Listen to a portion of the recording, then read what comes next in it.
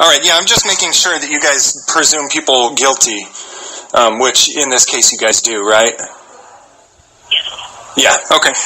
Um, so he's he's presumed guilty then, and so he's in one of your cells. Mm -hmm. Mm -hmm.